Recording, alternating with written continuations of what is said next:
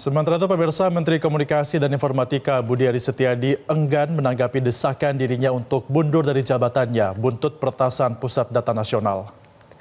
Ditemui usai rapat tertutup dengan Menko Polhukam siang tadi, Menko, Menkominfo Budi Ari enggan merespons pertanyaan wartawan seputar desakan mundur dari kelompok masyarakat sipil. Ia hanya merespons untuk urusan PDNS akan disampaikan satu suara oleh Menko Polhukam. Sebelumnya desakan mundur datang dari kelompok masyarakat sipil. Direktur Eksekutif SafeNet Nenden Sekar Aru mengatakan petisi menuntut Menkominfo Budi Aris Setiadi mundur dari jabatannya bertujuan agar serangan siber terhadap Pusat Data Nasional atau PDN tidak terus-menerus terjadi. Petisi ini muncul karena menilai bahwa Menkominfo tidak melakukan tugasnya dengan baik. Pak Budi hasil rapatnya gimana Pak? Ayo, ayo, mana pelakunya udah ketahuan Pak?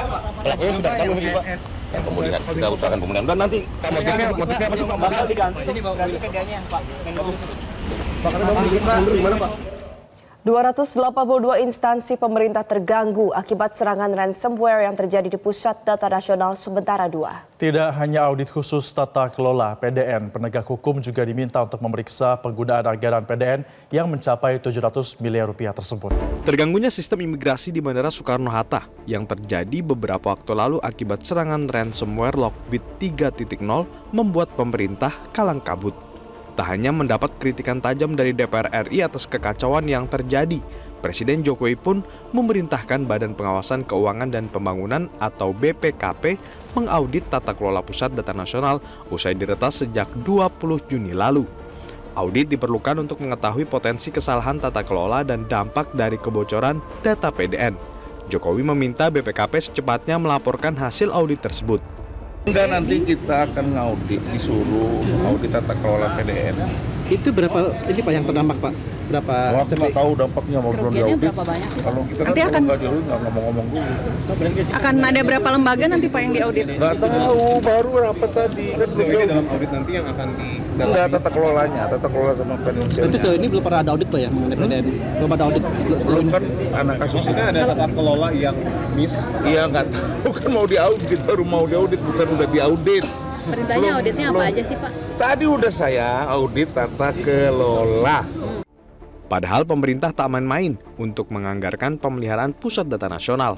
Menteri Keuangan Sri Mulyani menyampaikan, hingga Mei 2024, anggaran belanja Kominfo telah mencapai 4,9 triliun rupiah. Dari jumlah tersebut, sebesar 700 miliar rupiah dialokasikan untuk pemeliharaan data center. Dan untuk Kominfo ada 4,9 triliun rupiah sudah dibelanjakan. Ini dari mulai pemelihara- pemeliharaan dan operasional BTS untuk 4G dan data center nasional 700 miliar. Kapasitas satelit 700 miliar, palaparing 1,1 triliun. Jadi belanja untuk Kominfo cukup besar, mendekati 5 triliun yaitu 4,9 triliun. Wakil Ketua Komisi 3 DPR RI Ahmad Saroni mendorong aparat penegak hukum memeriksa penggunaan anggaran pemeliharaan pusat data nasional. Pasalnya penggunaan anggaran pemeliharaan yang mencapai 700 miliar rupiah itu tak membuat PDN aman dari peretasan. Sahroni curiga ada dugaan penyelewengan dari oknum-oknum yang tak kompeten di PDN. Saroni meminta agar pejabat di lembaga terkait meningkatkan pengamanan PDN agar kejadian serupa tidak boleh terulang. Wakil Ketua Komisi 3 DPR RI itu menegaskan harus ada yang bertanggung jawab dan tak menghindar dengan mencari berbagai alasan.